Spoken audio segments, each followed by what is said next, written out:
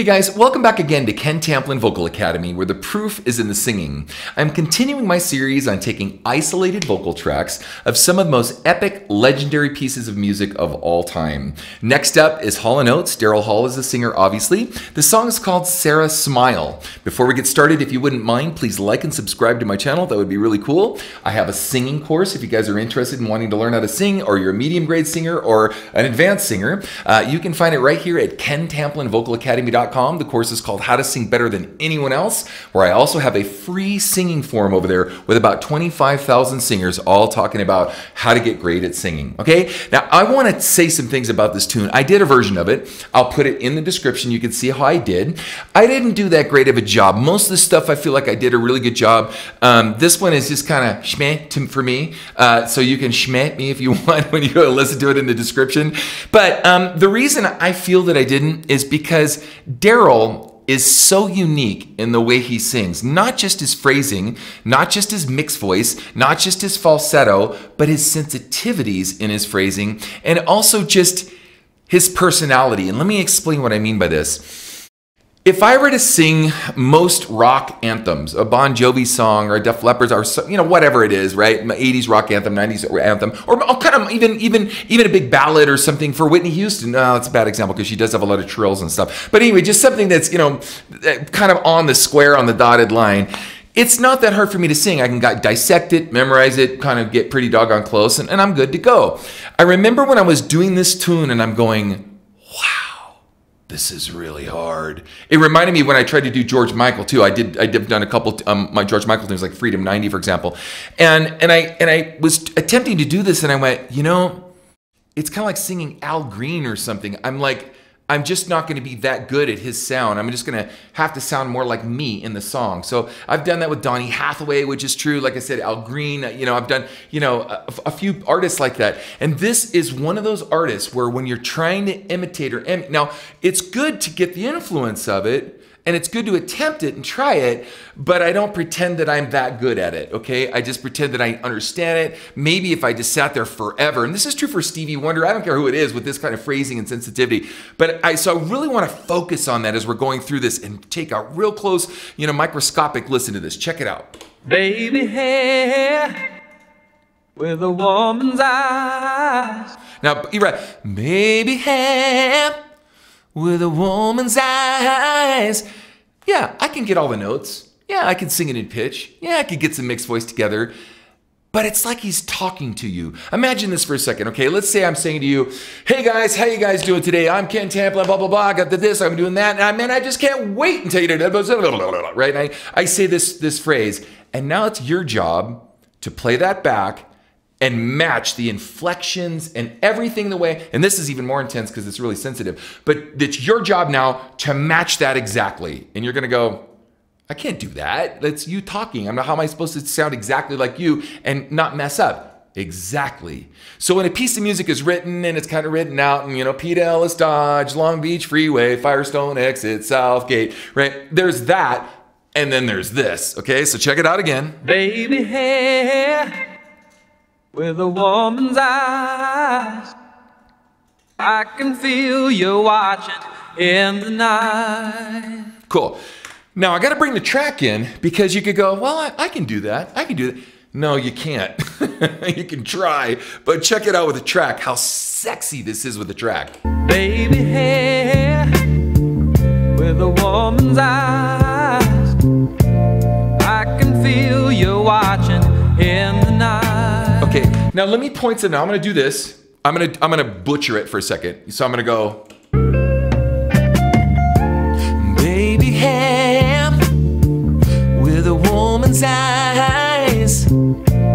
I can see you watching in the night. Right? Now, what happened was I missed how he hesitates on some parts, how he pushes something else, how he's he, he comes back, you know, he's really a piano on it, and then he comes forte, and then he comes piano, or you know, crescendos and diminuendos back and forth, and he is, I could see you watching in the night, right? And he's just got all this stuff going on. You're like, he's in the moment, man. He's like, he's singing to this girl, and he means it. you know what I mean? So I'm gonna put the track back in. With a woman's eyes.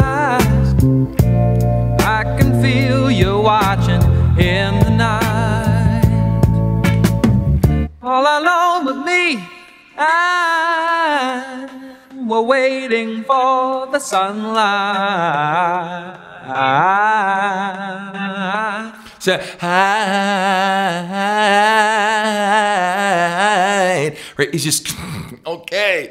I get it. I get it. No wonder he was like the king of blue-eyed soul. That was sort of one of his claims to fame early on. So let's continue. Whoops. Here we go. When I feel cold, you warm me.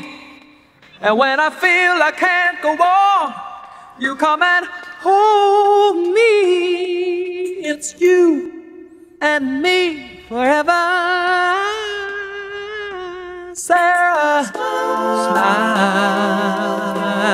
Did you guys get all that? Did you hear how sexy that was? Did you hear how sexy that was?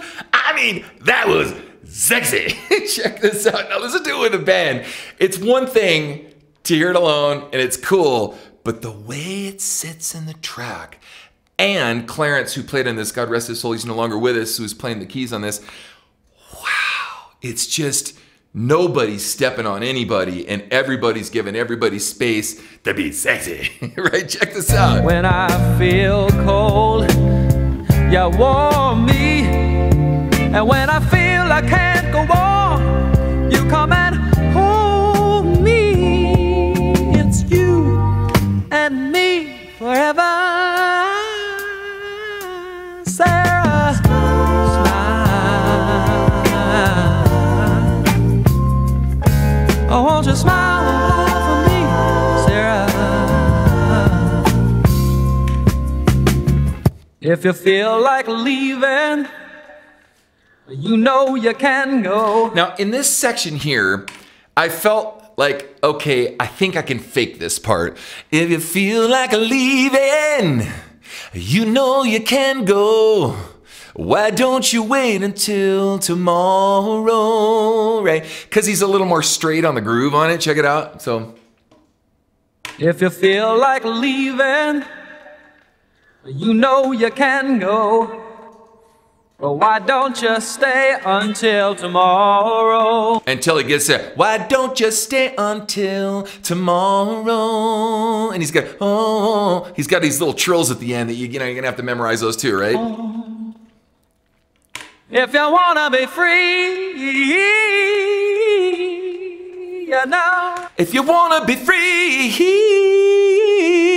right? That great control and mixed voice. So, guys, when you're doing this, I want you to really try to kind of stay on the head voice side the whole time. If you wanna be free,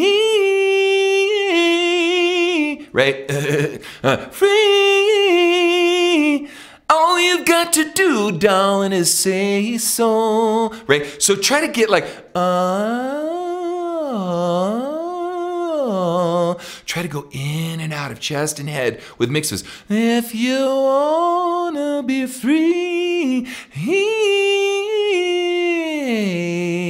right? Get in and out of that space with a lot of mixed voice, and then you'll kind of get close to the sound. But if you don't and you try to muscle through it, you'll never make it. It'll just be, you'll be too thick on the bottom. You'll over bloat the bottom, and you won't be able to get through the passaggio with that kind of sensitivity and go into head voice with that kind of sensitivity as well. If you wanna be free,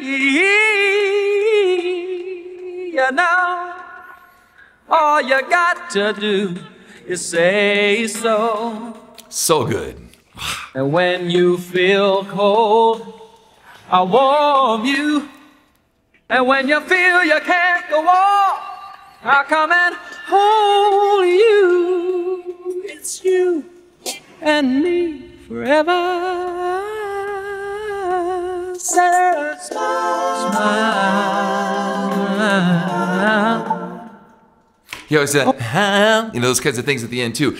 Now, I can only imagine the guy that did the tracking uh, engineering for this, for the vocal, must have driven him nuts. He had to probably use at least at least two compressors. So he probably used one that was real up front, and then when he leans into the hey, you know, kind of leans into, he used one on the backside to grab anything that was too big or too loud, so they could have a mean average and everything kind of sound really smooth. Because it's really hard to track something like this, man. Let me tell I you. want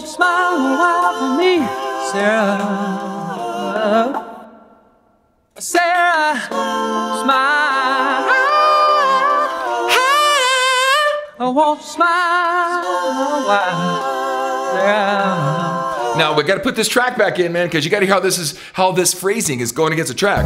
Oh, won't you smile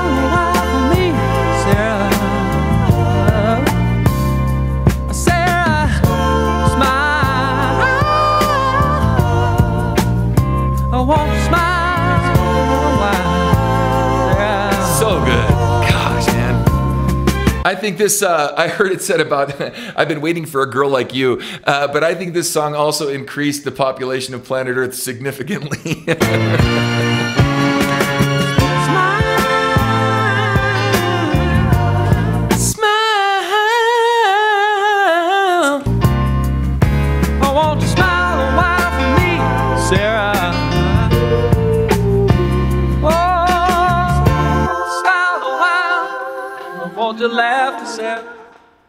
so good. Thank you for making me, make me feel like a man, not keeping me crazy, crazy. Smile a.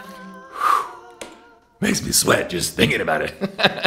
anyway, gang, hopefully you enjoyed this as much as I enjoyed sharing it and the information. And we're all learning together. I'm still learning. Every time I listen to these tracks, I'm just wowed. I am just, no wonder this track has been around for so long. And no offense, no wonder new songs just kind of come in and out real quickly without the staying power, the legendary staying power of a tune like this. But anyway, thank you for joining me. Joining me. Please don't forget to like and subscribe to my channel. That'd be really cool.